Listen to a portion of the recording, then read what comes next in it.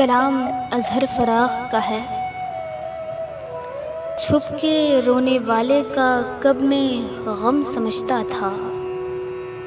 बाप की फजीलत को माँ से कम समझता था।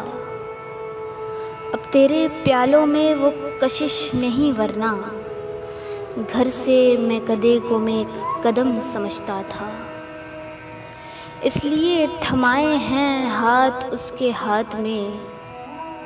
मेरी बंद मुट्ठी का वो भरम समझता था। साय की ज़रूरत से बेनियाज था जब तक। साय की ज़रूरत से बेनियाज था जब तक। मैं भी ऊँचे पेड़ों को मोहतरम समझता था।